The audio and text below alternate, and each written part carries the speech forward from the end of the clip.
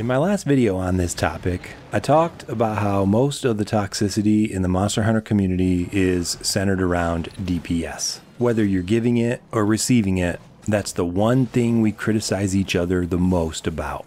Are you doing enough damage? Is your set good enough? Are you playing the game the right way, meaning as fast as possible? I left you guys with a question. Is this focus on DPS above all else a positive thing or does it come with a price? And what does speedrunners have to do with all this anyway? Can't I just give them a break? After you finish watching this video, I'm confident that you'll have a greater appreciation for the true effects that speedrunners and meta chasers have on the rest of us.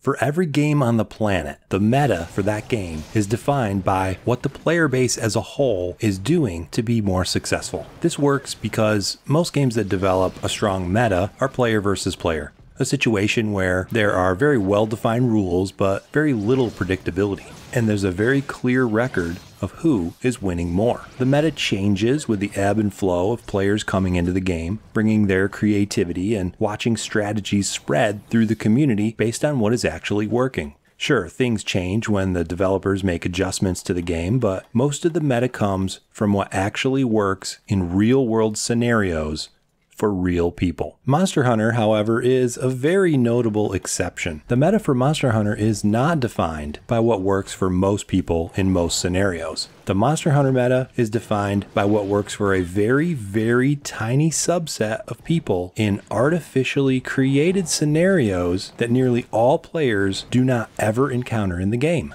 In short, the meta comes from what speedrunners demonstrate and dictate based on their experience playing a game that the rest of us are not actually playing. Here are a few examples to illustrate what I mean by that. Speedrunners typically compete using TA rules. These rules severely limit which features of the game you can use. They don't let you use flash bombs, traps, or buddies, for example. They don't allow you to capture the monster. Sonic bombs are out, as are all barrel bombs. You're not allowed to use heroics, adrenaline, or fortify. You're not allowed to use any of the gatherable hunting helpers. Wyvern riding is severely limited. Restocking items at camp is not allowed. The official TA rules state that only the Switch versions of the game are allowed and that cheats are not. But we have a speedrunning community on PC, and while they follow most of the TA rules, they do indeed allow cheats and mods. By the way, if you think Switch is immune to this, think again. The Switch version of Rise has been working on an emulator since launch, and mods are fully supported in emulation too, as well as network play. You think that guy who posted his Switch speedrun is actually playing it on a Switch? We'll never really know, will we? So let's take a look at just a few of the cheats and mods that are used extensively for speedruns on both Switch and PC, and that are generally accepted by the PC speedrun community. First, we've got hack charms that have a 1 in 10 million chance of you actually getting in the game. Now, the player base isn't even 10 million people, so just think about that for a minute. They've got cheated augments that, again, are statistically impossible to get in game. Here's a cheat to control where the monster loads. Here's one to ensure that it has the lowest health value. Looking for 100% success on food skills? How about automatically eating? How about automatically posting the quest?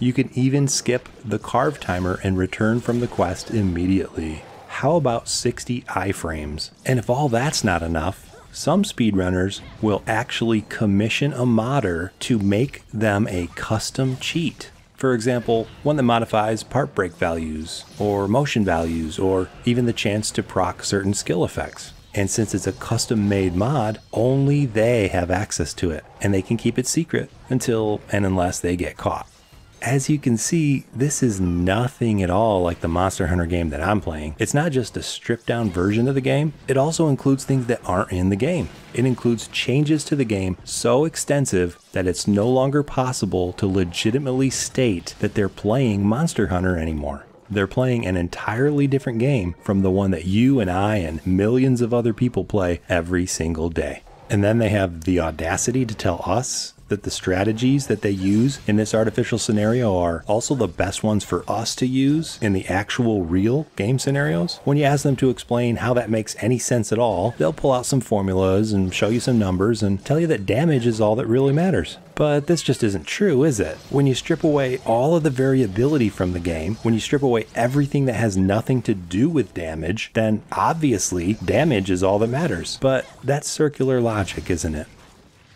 And to think, if that's not crazy enough, it actually gets worse. You see, the other part of the artificial scenario that they've created is that you, the player, are playing perfectly. Their entire premise rests on that one single assumption that you don't make mistakes, that you time everything perfectly, that your aim is 100% accurate, that you follow their script and that as soon as you do make a mistake, you abandon the quest and use your mods to restart quickly and follow the script again from the beginning.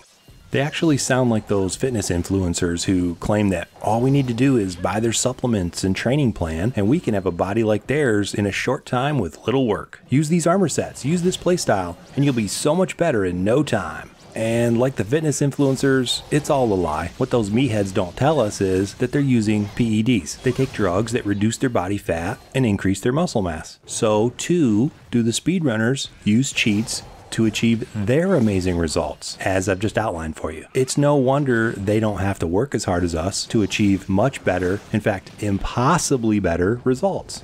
That's not to say they didn't work hard. They've spent countless hours abandoning quests and repeating the same exact script. The lie is when they say you too can achieve similar results through simply copying their set and playstyle. But we don't play the game the same way they do, right? We play it with all the randomness and variability still in there, the way the developers built it. And we play it with all of our flaws and foibles. We play it when we're too tired to even press the buttons properly, when we're too wired to calm the fuck down and just breathe. We play it on days when we suck and don't care that we suck. We play it with our children who ride around on Palamutes the entire quest because it's just that cool. And it's not just that we make mistakes. After all, they make mistakes too. They just deal with their mistakes differently. No, it's it's more than that. We play it in so many different ways because we enjoy all the variety and diversity that the game offers us.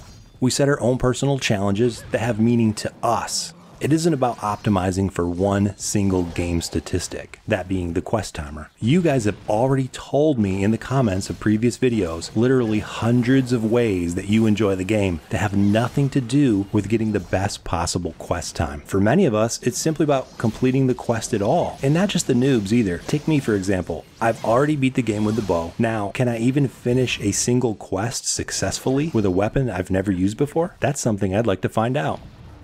When we take all these factors into consideration, it becomes clear that speedrunners and those who push the meta are so out of touch with how the vast majority play this game that they just don't know how bad their advice really is for the rest of us. So we have one community setting unachievable goals and defining a meta for the game based on unrealistic scenarios. So what? Let them do their thing and we'll do ours, right? If only it were that simple. I mentioned in the first video of this series how you see nearly every conversation devolve into one about DPS.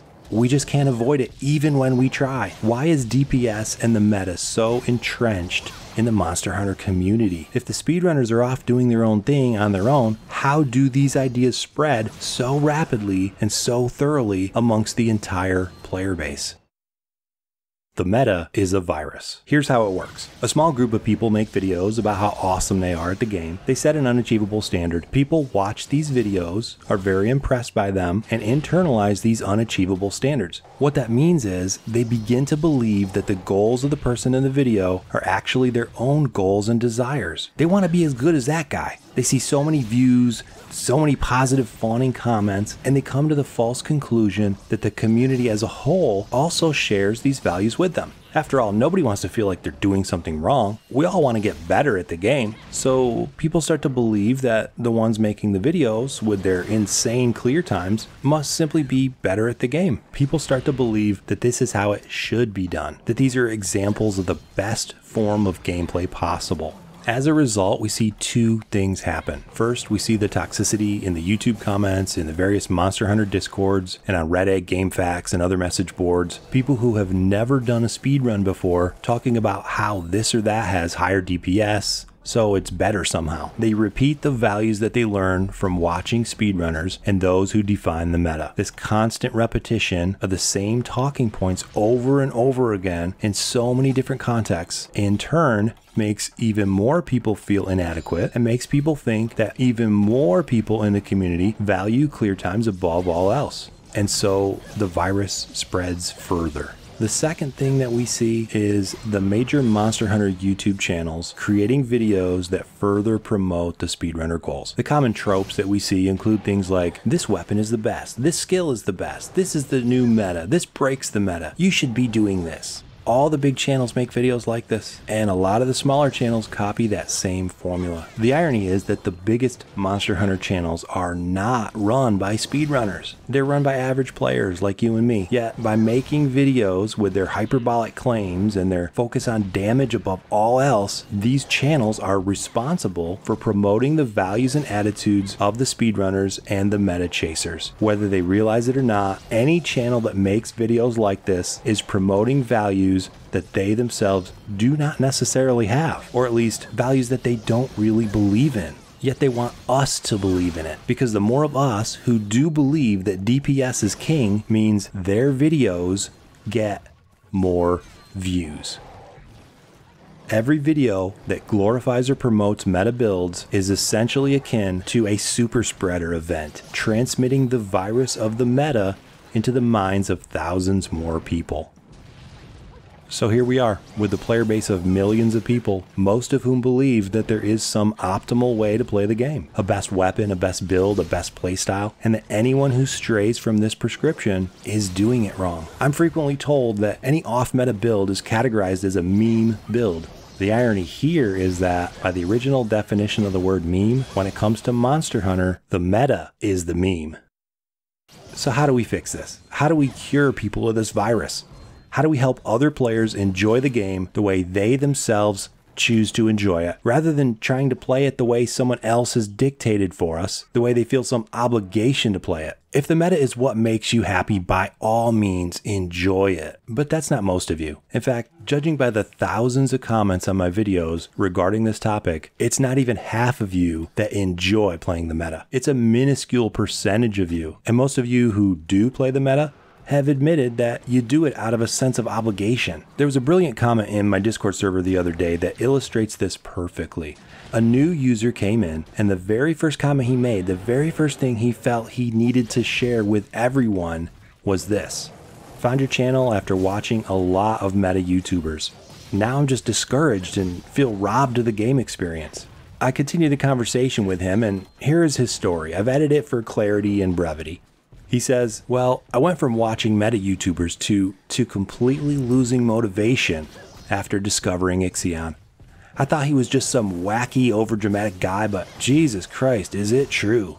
I felt Rise was too overwhelming at first and decided to just see what worked from YouTubers. I've been told my weapon of choice was wrong, or the skills I use are not fun, or will not get you very far, so I took their suggestions and fell into the meta playstyle, pretty much doing everything they suggest instead of exploring the game. I'm in the endgame now, and all I've heard is there's no good endgame content. Now I feel like it's too late to learn anything else.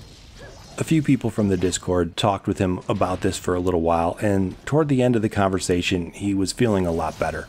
He goes on to say, You, along with the other Discord members, have helped a lot in motivating me. Though I find it sad that I fell into that kind of thing so easily. My main issue with following the meta is that it's stifled creativity, and you don't learn the game as much. When you limit the amount of tools, players are just missing out on a lot of content. Same thing happens when they say that things are broken. People will then only use that broken build and not experience anything else and get burned out. Since then, I've been more creative and I've learned more than I would have ever learned from them. So, I have a few ideas on how we can help each other enjoy this game in a way that's true to our own individual values, whether that's exploration, being creative, breaking records, or even something as simple as spending time with friends. I'm sure you guys have some good ideas too. I'm saving mine for part three. You can share your thoughts right now. I'll do my best to read every one that I possibly can.